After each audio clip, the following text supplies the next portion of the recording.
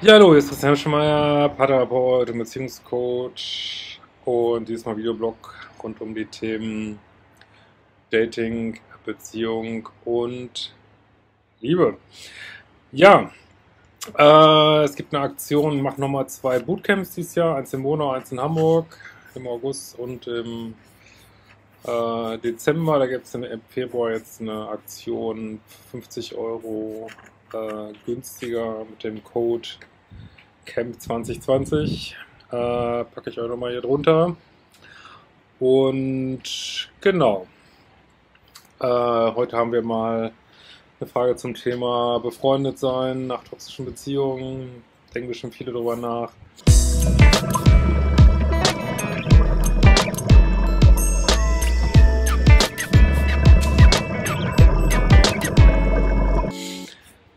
So, lieber Christian, äh, ich danke für deine tolle Arbeit. Ich habe schon viel bei deinen Videos gelernt, auch schon mal einen Kurs gebucht. Meine Story.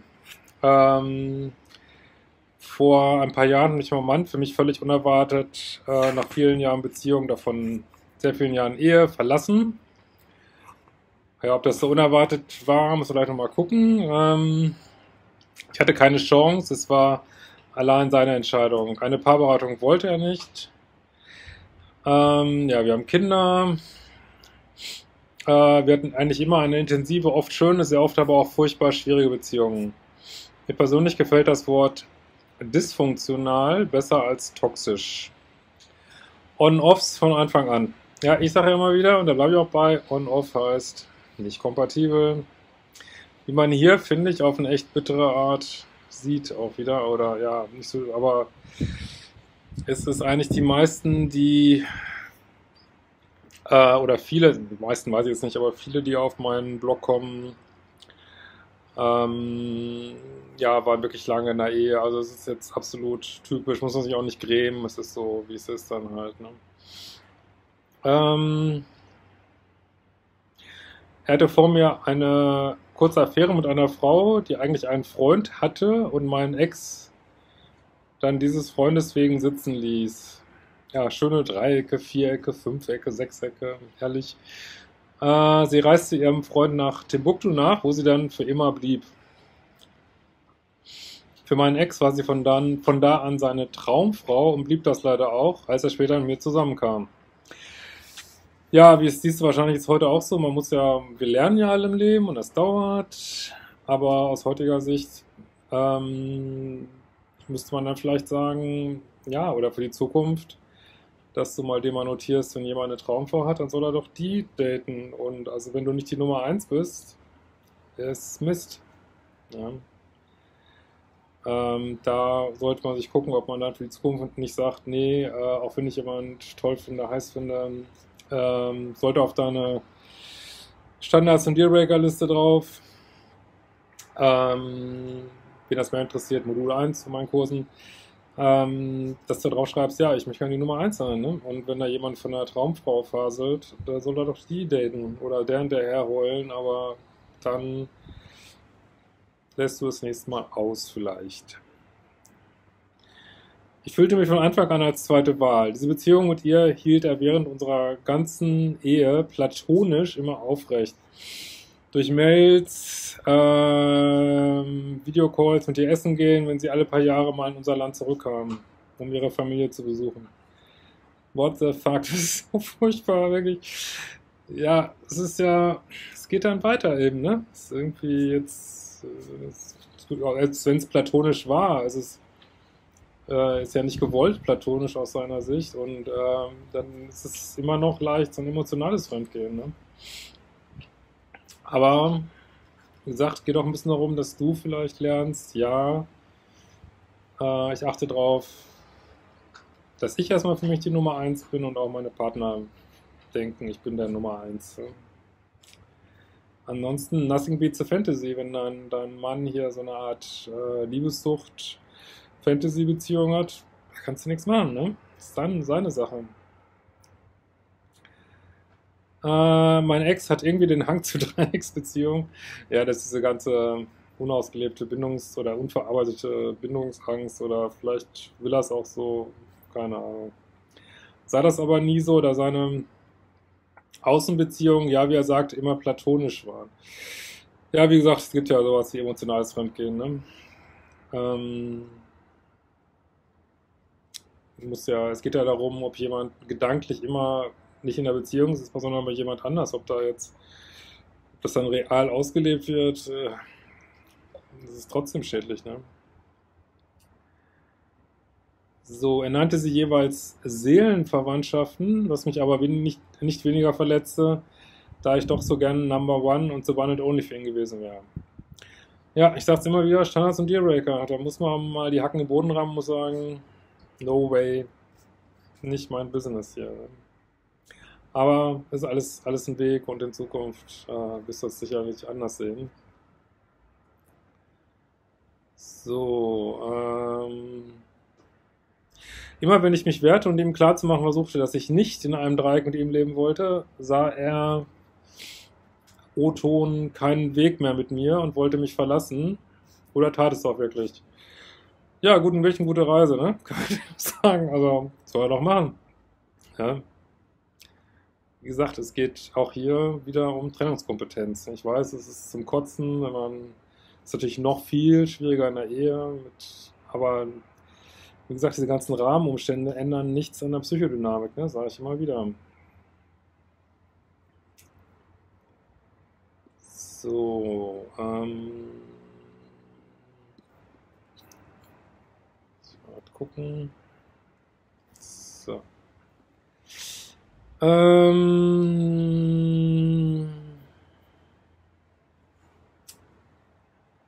Äh, sobald ich jeweils wirklich weg war und mich um mich kümmerte, war ich wieder interessant und er holte mich wieder zurück. Respektive wollte wieder mit mir sein. Ja, das ist ja immer unerreichbarer Verführer, nenne ich das ja immer super toxisches Muster, aber du hast es auch mitgemacht. Ne? Das ist jetzt überhaupt kein, keine Kritik oder sowas. Es ist einfach nur, man muss wirklich da mal ganz nüchtern die Situation jetzt mal aus heutiger Sicht ähm, ja, beleuchten, evaluieren, ohne Schuldzuweisung an, an jemand anders oder sich selber. Einfach zu gucken, okay, was habe ich da jetzt gelernt? Möchte ich, dass das so weitergeht? Möchte ich irgendwas anders machen? Was möchte ich anders machen? Und so weiter. Äh, dies geschah in unserer Beziehung dreimal. Zuletzt zu meinem großen Frust genau nochmal mit dieser Frau. Ja, es ist eigentlich vorprogrammiert. Ich habe dann dieser Mail schon drauf gewartet, wann das kommt. Ähm, aber wie gesagt, hinterher ist man immer schlauer, aber es ist eigentlich, ähm, wusste ich früher aber auch nicht, ist eigentlich vorprogrammiert. Ähm, genau, nochmal mit dieser Frau, die nach Timbuktu ausgewandert ist. Äh, sie hat sich von ihrem Mann getrennt, dann bekam sie, äh, hatte sie gesundheitliche Probleme. Äh, da war ich so doof, ich war sogar stolz auf mich, dass ich so großzügig war, dass ich ihm sagte, er soll sie doch nochmal im Timbuktu besuchen, um für sie da zu sein, äh, beziehungsweise mit ihr zu reden. Ich schrieb ihm, bevor ich, bevor ich mich fürchtete, dass das zwischen ihnen wieder so ein Riesending werde. Ja, du bist jetzt wieder so nett, es ist ja auch toll, dass du nett bist, nur äh, meinst du nicht, du hättest es auch verdient, dass jemand so nett zu dir ist? Und das ist ja immer dieses co-abhängige Dilemma, dass man denkt, wenn ich nett zu jemand bin, dann ist er auch nett zu mir. Nur das ist mit Leuten, die eher so auf dem äh, vielleicht ein bisschen egozentrischen Pol sind, äh, funktioniert das halt nicht. Aber das ist eine bittere Lektion im Leben. Ne? Die nutzen es dann eher aus. Und da muss man äh, mal sehen, dass man selber, ähm, ja, das ist schön ist, wenn man nett ist, aber dass man eben auch seine Standards und Dealbreaker braucht. Ne? Sonst wird man echt andauernd ausgenutzt. Das äh, können, glaube ich, die meisten ein Lied von singen. Äh, er sie wieder auf den Sockel stellen würde, sie alles wieder aufhören würden. Er hörte mir aufmerksam zu, sagte, dass er es verstehe, ging und tat genau das. Von Timbuktu schrieb er mir, wie sehr er mich liebe, ja, ja, bla bla bla, dass ich seine Frau sei und er mit mir alt werden wolle. Ja, ist halt äh, wenn man sich für all diese Worte irgendwie mal einen Euro kriegen würde, wäre man echt reich. Ne? Aber Worte zählen halt nichts, wenn sie nicht durch Daten unterfüttert sind. Ne? Als er zurückkam, schrieben sie täglich und skypen. Nach ein paar Tagen gab ich ihm den Schallpass, indem ich sagte, ich könne das nicht mehr und überlege mir, wie ich aus dem Dreieck aussteigen könne. Andertags kam dann wieder der berühmte Satz, ich sehe keinen Weg mehr mit dir und ich mag nicht mehr mit dir kämpfen. Dann verließ er mich, diesmal für ganz. Äh, ich kämpfte lange mit schlimmem toxischen Liebeskummer und auch unglaublicher Wut. Ja, diese Wut ist natürlich auch oft eine Wut auf sich selber, ne? Äh, auf den anderen. Und die Wut ist halt auch noch in dieser Täter-Opfer-Dynamik. Ne? Ähm, ich halte das immer für ganz gut, wenn man das schafft, so wirklich kühl das Ganze zu analysieren, äh, nicht so emotional, erst so ein bisschen, fast so ein bisschen kalt, sich das anzugucken, Schluss rausziehen, weiterziehen, fertig. Ja. Äh, unglaublicher Wut, ich auch regelmäßig an ihm ausließ. Ja, wie gesagt, das ist, da bist du immer noch in diesem Täter-Opfer-Spiel mit drin. Auch wenn jetzt natürlich wir alle denken, ja, ist total verständlich, dass du wütend bist. Aber äh, Wut hält dann auch wieder drin irgendwo, ne? Äh, hält dich in dieser Dynamik und führt dann dazu, dass man nicht so richtig gehen kann, so, ne? Ich bin nämlich schrecklich und oft falsch in der Zeit. Ähm, auch meine Beiträge zu unserer langjährig immer wieder schwierigen Beziehung sind mir wohl bewusst. Ja, deswegen rede ich immer wieder gern von dieser Täter-Opfer-Ebene, 3D-Ebene, wie auch immer man das nennen will. Hat halt viel mit alten Mustern zu tun.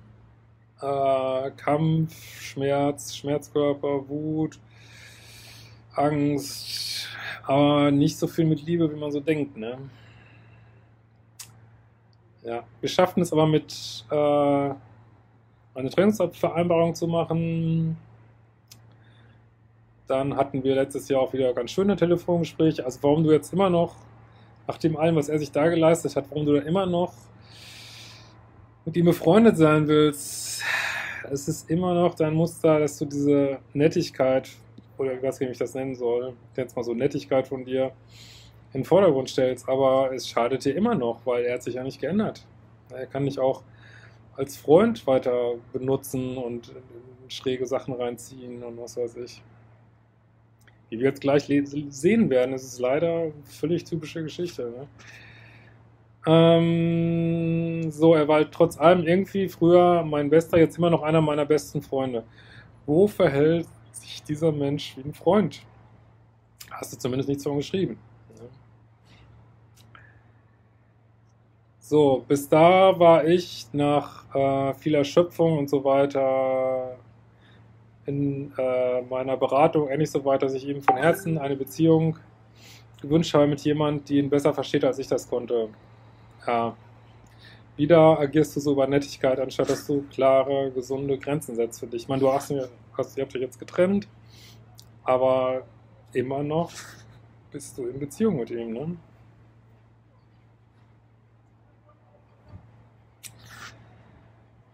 So, dann kam der Hammer, wir telefoniert wegen irgendwas, entstand ein schönes Gespräch. Mich irritierte dann aber, dass er jetzt irgendwas nicht erzählt hatte. Dann habe ich hier ganz lange telefoniert. Plötzlich fing er an, mir von seinen Frauengeschichten zu erzählen. Oh, ja, ich sag ja, es ist einfach vorprogrammiert, weil dieses Benutzende, was da stattfindet, das geht natürlich jetzt weiter. Ne? Jetzt Jetzt sagst du, oh Gott, da sind wir eben Freunde. Ja, aber Freunde hören sich natürlich auch die Bettgeschichten vom anderen an. Zack, bist du wieder reingezogen in diesen ätzenden Scheiß. Ne? Was ich ziemlich schräg fand, er wollte mir wohl mitteilen, dass er sehr wohl seine Muster erkenne. Ja, das immer noch willst du ihn retten oder wartest da drauf. Lass es los, lass es los, lass es los, weil das Benutzen von dir für es geht immer weiter. Ne? Und nur weil jemand sagt, dass er seine Muster erkennt oder so, heißt es überhaupt nicht, dass auch das muss von Taten unterfüttert werden. Und wir jetzt hier sehen, wird das überhaupt nicht von Taten unterfüttert. Also wirklich geht, ich sage immer wieder, Null Kontakt nach sowas. Null Kontakt. So weit es irgendwie möglich ist. Ne? Und genau aus diesen Gründen, was jetzt hier passiert. So. Ähm, erzählte mir von einer verheirateten Frau, ja wieder ein Dreieck, mit der er eine Seelenverwandtschaftsbeziehung, bla bla gehabt habe. Äh, plötzlich läutet es an seiner Tür und wer steht da? Eine Freundin von mir. Ja, super.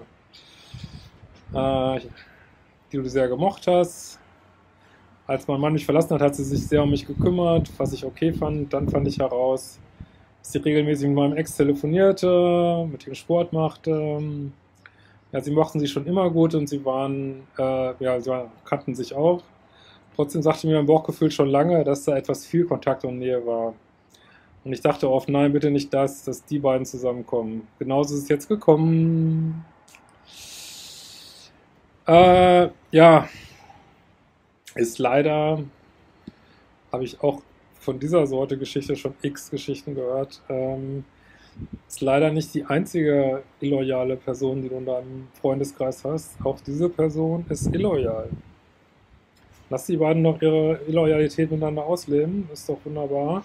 Aber ich weiß, es ist hart jetzt. Jetzt verlierst du auch noch eine Freundin, aber also wenn man so ein co-abhängiges Muster hat, hat man halt ganz viele Leute, die einem oft nicht loyal sind. Ne? Und da muss dann halt mal ausgemistet werden. Das ist total zum Kotzen.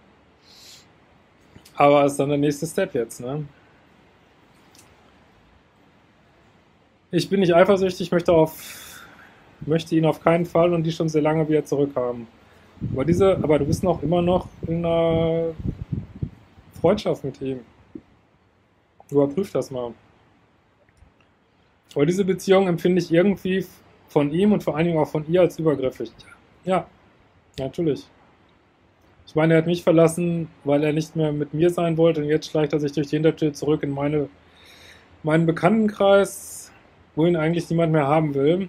Ja, aber da musst du jetzt deinen Bekanntenkreis, äh, das, wie gesagt, du bist echt beileibe nicht die Einzige, der es passiert. Das ist ein ganz häufiges Muster.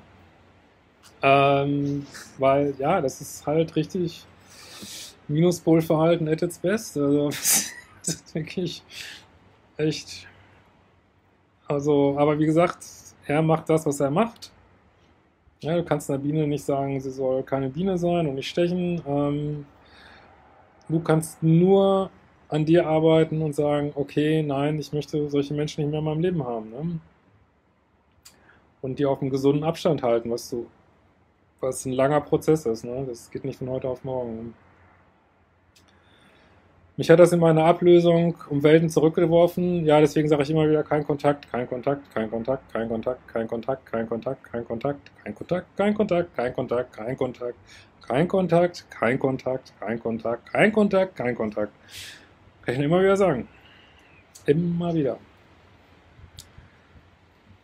So, ähm, von ihm habe ich nicht viel anderes erwartet. Wo immer etwas beziehungsmäßig kompliziert, unmöglich, völlig unangebracht ist, ist er zur Stelle und hechtet hinein.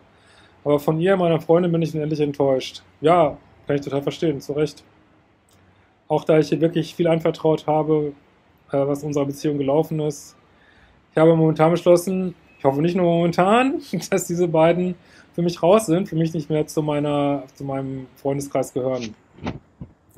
Denn bei diesem Dreieck spiele ich nicht wieder mit. Jetzt bestimme ich mal, wer rausfliegt. Ja, hier sprichst du mal. Denkst du, dass das eine gute Lösung für mich ist? Ja, absolut. Die einzige. Oder denkst du, ich sei irgendwie falsch gewickelt? Äh, äh. Dass ich das total stief und daneben finde. Die beiden sind eh ziemlich allein mit ihrer Romanze. Von meiner und auch ihrer Familie finden es eigentlich alle völlig daneben. Ja, das freut mich, wenn wenigstens ein weiterer Freundeskreis das so sieht. So, sorry für so viel Text, das ist halt nochmal eine unendliche Geschichte. So, ja, wunderbar. Ich hoffe, wir sehen uns bei der Party. Kommt ja auch bald die Liebeschip Party in Berlin oder in Hamburg beim Liebeschip Live Tag oder in, später im Jahr in Monau oder in ähm, Berlin war das dann, glaube ich. Nee, nee, Quatsch, auch nochmal in Hamburg bei Bootcamps. Äh, Bootcamp ist halt nochmal intensiver ne, als der Live-Tag. Dafür sind auch zwei Tage dann. Ähm, oder bei einer Lesung, die wir jetzt gerade ziemlich viel organisieren. In diesem Sinne, wir werden uns bald wiedersehen.